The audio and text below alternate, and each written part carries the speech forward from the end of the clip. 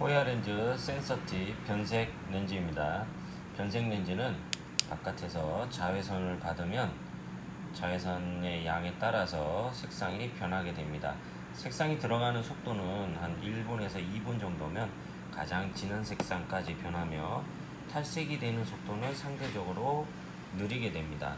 안경 하나로 안경과 선글라스 모두 활용하실 수가 있습니다.